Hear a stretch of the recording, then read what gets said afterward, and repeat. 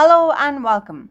In this video, I'm going to be showing you how you can hide sender name in Telegram. Well, it's a pretty straightforward process. All you have to do is make sure you have downloaded and log into your Telegram app. Now launch your Telegram app like so, like so.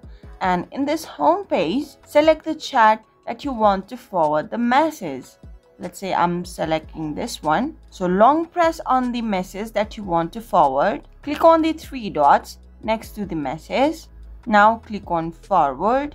Now select the people that you want to forward the message to or even the channels or groups.